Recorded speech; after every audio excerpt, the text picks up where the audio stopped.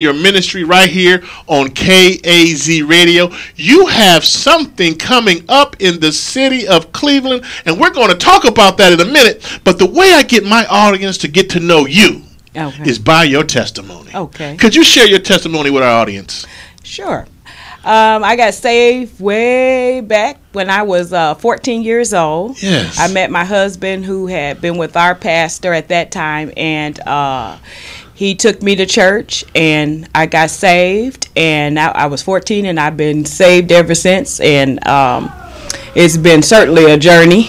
Amen. Uh, amen. Yeah, and uh, times of growth and everything. But I, I praise God for the foundation that my pastor, um, Bishop Charles Clark, put in me. It was a Yes. foundation of faith, and it really helped me for the long haul. Now, now, now, you say your husband took you to church. He took me to church. Yeah, He found you. Said, "I He- found me a good thing, and I'm gonna get her in church." he did. He did. He was my boyfriend, and I was Okay. impressed because he was quoting scriptures to me. and he took me to his church and um, he actually he tells a story that he told me we couldn't get married if i didn't get saved Wow. and so um, he, he claims that that's what made me come to church That, but- that's what it was. yeah that's what he said he, but, him, him, Mm. him saying you must get saved. yeah that's And you've been saved for quite a while yeah now. yeah Now, connect the dots for me now. You from from from being saved to going into ministry to becoming a pastor. Sh- Yeah. Share that with our audience. How, Yeah. how did that happen? Uh, well, I never thought, and when I when I got saved, I didn't or married. I didn't think I would be a pastor's wife at that time. But we were very involved in ministry, and I was in charge of the um, children's ministry for many years, and uh, he also worked with the children's ministry. So, and e- eventually, we got to the place where we headed up a young adults ministry together, and um, through that, it just kind of came to be. And he actually knew he knew he was going to be a pastor. Okay. He knew he was called to be a pastor. We didn't know how that was all going to play out, Right. but um, eventually God opened up the way and He opened up the door for us to begin our ministry. And so we've been in ministry 15 years now. Back in 2000 is when we started House of Jubilee Ministries. Okay. And did House of Jubilee start in a building or did it start in your home? Started in our home. Started in your Started in home. our home. Yep. 14 Wow. people in our house. Wow. Yeah. 14 people, including the kids? Including the kids. including Yes. Yes. Amen. Including the kids. Amen. Now, 14 people. Now, looking back on those 14 years of ministry, um, what are some of the highlights? What are some of the best things that you just chew on when things are bad? What, what is it? I think for me, it's the growth of the people. I see the change and the impact that we're making in lives. And when it seems like the ministry gets heavy or it feels like you're not doing enough, somebody will text or somebody will call or you'll remember an event, something that, you know, you see that God is making an impact. He is changing people. That these people are not who they were 15 years ago or 10 years ago or 5 years ago. So you know even though you may go through things in the ministry that God is still he's still impacting lives. He's still changing lives. He's still changing minds and we are witnessing and seeing it. And so that gives us the energy and the you know the, the the strength to continue to do what God's called us to do. Now, in your um, ministry, there are several ministries in your With the- ministry. yeah. Correct? And uh, one of the, the, the ministries that I just got wind of is MTM Oh, yeah. Ministries. And tell us about uh, the, the, the MTM ministry because you got a, an event coming up. And uh, I want to make sure the folks get to get to see that, but I want to know how did you know, from from being Pastor Trotter to actually starting this this MTM ministry. Tell us about that. Okay. Uh, w- the real transition with that came several years ago, maybe about six or seven years ago. Okay. Um, I we were I had a pretty strong women's ministry called Grace Okay. that I was you know that we do as part of House of Jubilee, and from that I saw that the women began to they got to the place where it was almost larger than grace. It was almost larger than the women's ministry, and um, God began to speak to me also concerning women pastors. Because when I stepped into the pastorate 15 years ago, I had little to no connection with other women and female pastors, co-pastors, first ladies, and um, that was kind of stressful because I wanted to connect with somebody to find out what the heck was this position all about, and there was very few, and so God began to speak to me about that portion of just trying to connect women pastors, leaders, women in leadership, and also these ladies who had come through grace um, to be able to take them to another level. Yes. And so from that, then um, God put on my heart to do a mentoring program, which we call Kingdom Queens Mentoring Association or QUAMA, and um, to also branch off with this leading ladies piece, which was solely for uh, women in ministry, pastors' wives, co-pastors, and and, and female pastors. So, what are some of the the um, struggles that female pastors uh, experience in ministry? I think days? one of the struggles that we face is really finding our position Mm. in that, finding our role. Because there are some female pastors or co pastors who um, are not preachers. Okay. They're not teachers. And they are the ones who do, some of them do great administration in their churches. They may be music leaders or other things. They may be into evangelism. But if, you know, sometimes we step in, like I'm not a singer, mm-hmm. I'm not great at administration. Okay. So I had to find, I'm, I'm a good preacher though. Okay, yes, yes, so I had to amen. find my role. I had to find, not try to pattern after what I've seen or, you know, what's out there already, but just find my role. What is my role? And so I think that for, uh, uh, female co-pastors, we have to find that role. Where do we fit? Where do we flow? now in the ministry. I, I, it, it's interesting you mentioned um, um, your your ability to preach and share the word because I've been at your church on several occasions and I've had the opportunity to to hear you preach, and um, I walked away one Sunday full in the spirit because and and tell me what this is is this prophetic or what but you felt the concerns of the congregation that day. Mm-hmm. That there, you, you walked in there, and you were totally in the spirit, and you just felt the the needs of the congregation. Uh, what do you contribute that to? Because it it affected me. I said, "Wow, she really." You know, and I'm visiting, and she's hitting at home. I- Is that prophetic? Is that um, was that just an experience of, of a lifetime? I mean, what was that? Well, Apostle, I uh, don't, and I always say I'm not a prophet, but then I've had several people stop me and tell me stop saying Stop that, saying that. Mhm. Uh, because you don't have to be a prophet to be prophetic. Mm-hmm. But I believe that as a minister in His house, that He does use me prophetically, especially to speak to our congregation when He has something specific to say. Okay. Word of wisdom, word of knowledge.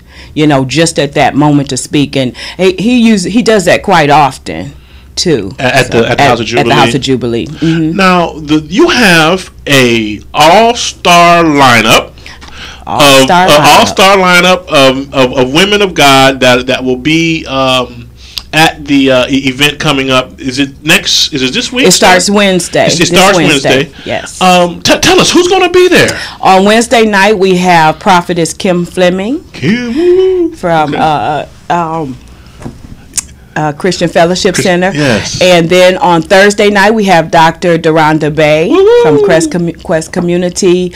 On Friday night, we have Elder Monique Williams Amen. from River of Life. Okay. Amen. Amen. And then on Saturday morning, uh, my sister, uh, Minister Lisa Turner, will be hosting a SIP uh, conference, which is her School of Intercessory Prayer, Oh, where she will be teaching the art of spiritual warfare and intercession. Okay. So that's going to be awesome. And then our luncheon, which will be held at twelve thirty that afternoon, Yes. we'll have a luncheon, and it will be our keynote speaker will be Dr. Martina Moore, Wow. who is the uh, CEO of Moore Counseling and Mediation Another Services. oh, a lot of powerful Yeah, women. just- Just, a yeah. man, just a a, a plethora. Yes, of, yes. of, of powerful women of God coming to the House of Jubilee to, to share with other women? Is this just for women or is this for Oh, we always have. Let me tell you, at these me. conferences, um, and I'll be ending up on that Saturday evening at six o'clock. But at our conferences, we have had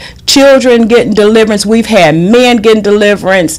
Uh, the men come in, especially at my church. You know, they they don't let me leave them out of Mm. grace or anything else. They come there, they aid, they assist, they do whatever. But they're also in that move of God, and they're getting their healing. They're getting their deliverances. Many times they're at the altar, and after the altar work is done, they're still standing there wanting and ready to receive what God has for them too. So yeah, it's, it's powerful. So we almost want to take women off of it Okay, and just oh, you know just call it you know this Right, right. empowerment Empowerment conference because it's conference, for everybody and anybody, and it's free. and then, and it's free. Yes. And it is free. You, you all hear that? It is It's free. a now, free conference. your, your your husband, Apostle Trotter, a, a, a dear friend of mine, a great man of God. Uh, I mean, he is he is so giving uh, in his craft of carpentry, but he's also giving in the area of the pulpit.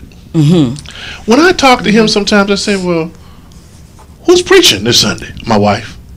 Who's preaching? Uh, It's almost every Sunday. Mm-hmm. You Yeah. bringing the word. Yeah.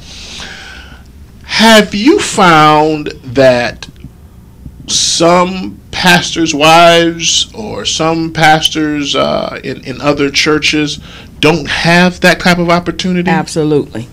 Absolutely. I have. I run into it a lot. And and a lot. and have you ever counseled them and what type of advice would you give them they're they're they're hungry to share the gospel but yet there's a roadblock by either their pastor their bishop their husband what, what do you what, what do you tell them First, I tell them that their gift will make room for them. yes And um, I believe that if if they don't have that opening there, that God gives in a, them an opening somewhere to be able to share the gospel. Another reason that I have the leading ladies because it does give women who are full of the word an opportunity to share with people when they don't have that open door. You know, I bring them into the grace meetings to share. I bring them into the um, leading ladies meetings to share because oftentimes it's not like that. Everybody doesn't have that, and I really, you know, I'm always grateful to my husband for seeing not not only does he see the gift in me, but he pushes the gift Mm, yes, where I want to stand back. Sometimes it's, I feel his hands in my back, so I know that I'm privileged to have that. So. I try to present that, or make that opportunity for women who who's so full of the word, Right. but they don't have a place to share it. now how do you um, help us men who are male chauvinists okay i'm not saying i'm male chauvinist but us men that are male chauvinists you know women don't women don't be needing to be preaching you know i use my old baptist Yeah, voice yeah, yeah, yeah, yeah. Um, what do you, what do you tell them if you tell them anything at all? I haven't really had an opportunity to tell it, but if, If I could, I mhm. would tell them they are missing out on some tremendous gifting. Yes. Tremendous gifting. Um, I would tell them that most of you were taught by a woman in Sunday school, and that's what got you to where you are, and prayed for by a woman, Right. and interceded by who uh-huh. was probably your mom or your grandmother to get you to where you are, Right. and that in these last days, His Spirit is being poured out on all flesh, Yes. and He already said that that the women of God would be used, you know, and prophetically, and that we would be used in teaching. And don't stifle the gift of God. Don't Yes. hold back. Let it pour out, because a lot of times that other that that woman and what she has to say, and that part that she brings, which is not male, it's Yes. female, Yes. and it's you know it, it comes from a different level and a different place. It just brings this whole other level Yes. to ministry. It, it, it, it rounds it out. it definitely rounds it out. Now, in your travels, um, I, I've watched you on, on social media.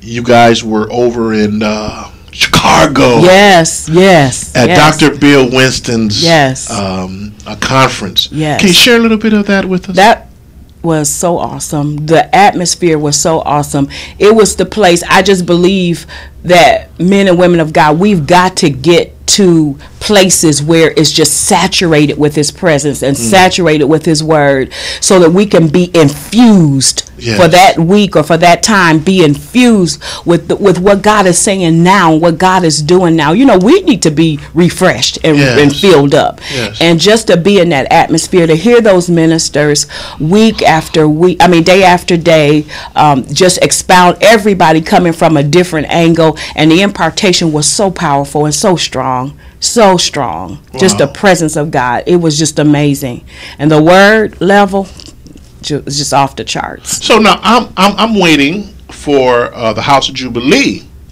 to put on a faith conference. Or Yeah. do you do one already? We we haven't done one in. Uh, we did one about two years ago. Okay. And it's something that we are now looking to do and to to get back into that place of doing a faith because you know we're we we're strong in that area. now, your, your church uh, is not a denominational church, or is it? no, it's non-denominational. Okay. Yeah. But you are strong in the area of faith. Yes. Tell us about faith. um, faith is what we were taught. And when I when I came to know Christ at 14, my pastor was he was out of the box at that time because you know most people were very much more traditional than Right. him and he um, he introduced us at that time to Kenneth Copeland, Kenneth Hagin, um, John Osteen, and all those people. And uh, he took um, took us to conferences, and when they were coming near, he always took us. He so he taught us a very strong word faith base. I never really got into religious uh, Gotcha. teachings Right, because right. he he didn't ever teach me that, and so um, that's just kind of where we've geared this ministry. And by putting that to work for us, we've seen God do things that's been amazing. You know, just to get into even the location where we are, Oh, how God goodness. did you know put us into that place so we've seen it work i you know i know people talk about it and everything but you know if something is working you might as well stick, Stick with, with it. it. You might as well do it Amen. yes And and the the importance of of faith in the church is paramount to God, isn't it? absolutely I mean, it's impossible Absolutely. to please Him it's without impossible it. to please him without it And I'm I'm I'm I'm thinking about the the beautiful building that you guys are in, and for the you know for the pastors out there that that are are you know I won't say struggling, but wanting to get to the level uh, that the House of Jubilee has reached. Uh, what would be your advice to them? have faith in God. I wish I could sit down and open up a book and say A, B, C, and D. Okay. But um, Apostle, to be totally honest, we have believed God. We've sown seed into other ministries. My husband has helped to build other Oh my- ministries. Um, he as as a church we sow seed. We teach our people to sow, and um, we just build on faith. We Amen. build on when we got the building we're in. We had no money. We had nothing. We just told the guy the vision, and he said, "I believe you," and he gave us the space. You know, and my and you know my husband's vision is just he just did the work there, but it's all been by faith. And your building used to be a bowling alley. It used to be a bowling alley. Yes. Wow, you would have never guessed it Yes. looking at it. I mean, are the lanes still in the? No, the lanes are gone. They're Everything's gone. Yeah. Wow, that everything's gone. fabulous. That is Yeah. absolutely fabulous. Now we know you're a mom, Yes. and we mm-hmm. can't let you leave the air without at least giving a shout out to the babies and tell us a little bit about them. Okay. I have three kids Okay. and two and three grandkids. Um, um, actually, four. My oldest daughter is hus- is married, and she's a school teacher, and um, Dejan, and then Ashley is my middle daughter. She's 26, and she is a hairstylist. Miss Blessed Hand, she's the best. Okay, And okay. then my uh, son, he is um, 22, and he's in school. He's finishing up college or in the middle Wow. of college, and he's working right now. Wow. And um, then I have three great, wonderful, marvelous grandchildren. Marche, Oh, yes, uh, yes. who's 10, Braylon is 5, and um, Judah is 11 months. He'll be a year old in Wow. October. And we are again excited because we know that we have a conference coming up this coming Wednesday, starting Wednesday in a couple days, that Pastor is putting is, is hosting. And she's going to uh, familiarize us with some more other things. What are the dates, the times, the place, the address, and all that? Go ahead, share it with us. Okay. Uh, the dates are it starts on Wednesday, September the 30th, and it'll run through Saturday, October the 3rd. It is nightly, starting at 7 p.m. Then Saturday's event starts at 9 o'clock. The luncheon will start at 12:30, and then the evening service, the roundup, will be 6 o'clock p.m. on Saturday. Amen. And you're serving dinner at one of these? We are having a Lunch, a luncheon, luncheon. which is uh, twenty-five dollars. It's the only cost to the conference, and um, so that'll be right across the parking lot from us at Tizano's Banquet Center. Oh, that's going to be nice. Yeah. That's going to be nice.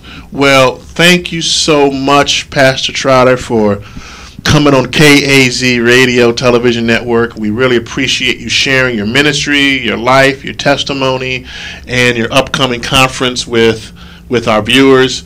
And um, let's close out with this. What would you tell a, a young lady who desires to go into ministry, uh, what would be your advice to her? My advice to her would be to um, seek the face of God, Yes. to eliminate what she's not supposed to do. Because we waste time with what we're not supposed to do. Get in your lane, stay in your lane, and develop yourself.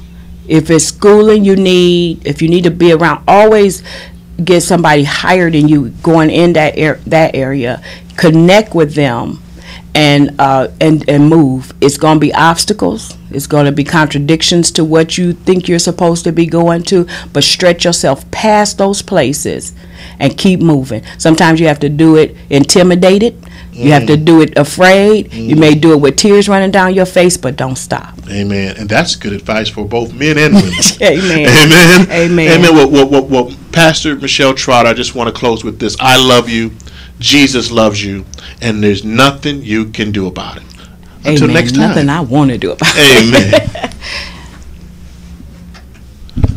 Excellent. Excellent. Excellent. Excellent. Excellent. It wasn't a whole half hour because you, I thought you had Bay or somebody, but that was great. Okay. That was great.